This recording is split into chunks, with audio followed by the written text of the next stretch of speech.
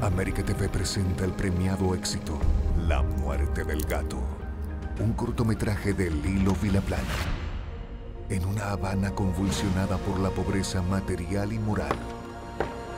Desafiando la crisis, la represión y el hambre. Yo no puedo más, mi hermano. Yo no puedo más. Sobresalen las relaciones afectivas de tres amigos, Lo tienen todo controlado. convirtiéndose en cómplices de La muerte del gato. Este domingo a las 9 por América TV.